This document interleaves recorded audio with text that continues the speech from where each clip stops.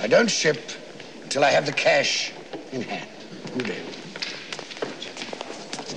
Uh, Mr. Scrooge, I presume. Indeed, you do, sir. You don't know us. Nor do I wish to.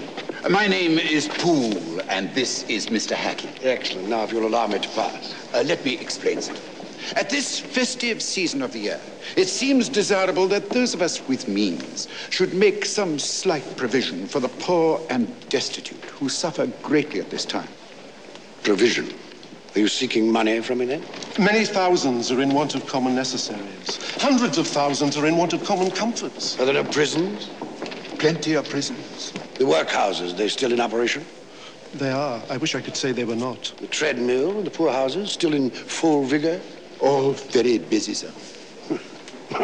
I was afraid from what you said that something had stopped them in full force. A few of us are endeavoring to raise a fund to buy the poor some meat and drink and food and warmth. Oh, what can we put you down for, sir? Nothing. You wish to be anonymous. I wish to be left alone. Since you asked me what I wish, gentlemen, that is my answer. I don't make merry myself at Christmas, and I can't afford to make idle people merry. My taxes help to support the public institutions which I have mentioned, and they cost enough. Those who are badly off must go there.